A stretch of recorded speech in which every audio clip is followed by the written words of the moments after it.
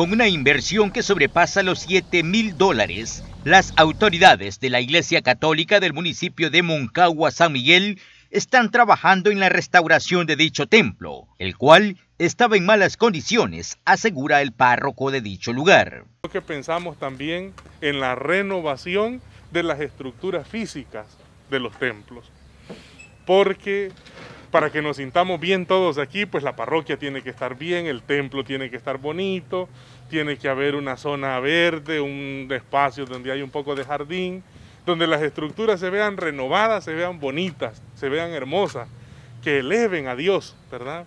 Entonces para eso, cuando pensamos ya en la renovación de la estructura física del templo, toda parroquia cuenta con un consejo económico toda parroquia. Hay dos consejos en toda parroquia. la grama todavía, Unas plantitas. A pesar de que han contado con el apoyo de la comuna y los feligreses, para la segunda etapa se requiere de más fondos y es por eso que piden ayuda a diferentes sectores que les puedan apoyar.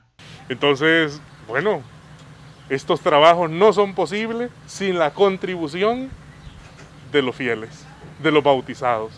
Y en este sentido, si alguno quiere contribuir con un poco de pintura, con un poco de dinero, que Dios se lo pague, ¿verdad? Porque nos pueden ayudar con esto, ¿verdad? Eh, el número eh, de, que pueden llamar aquí a la parroquia al 7601-5807.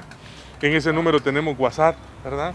Entonces pueden, pueden o pueden venir directamente eh, de, de lunes a sábado, de 8 de la mañana a a 3 de la tarde. La segunda etapa de este proyecto contempla la pintura de dicho templo y la construcción de un muro perimetral que resguarde la iglesia, debido a que en ocasiones anteriores personas ajenas al lugar han entrado para hurtar objetos de valor. Vinieron a hacer el balú y dicen ellos, eh, según la, la, paginita que nos dejaron, con 2.200 dólares se, se pinta, ¿verdad? Con 2.200, eso en cuanto a la fachada.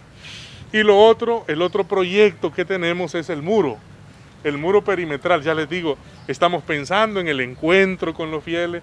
Yo queremos que todos aquí encuentren un lugar, que se sientan bien, que sepan que hay un lugar para ellos en la parroquia. Entonces hemos estado remodelando un poquito el jardín. Tenemos una deuda, quiero decirles. Allí en el jardín tenemos una deuda de 3 mil dólares.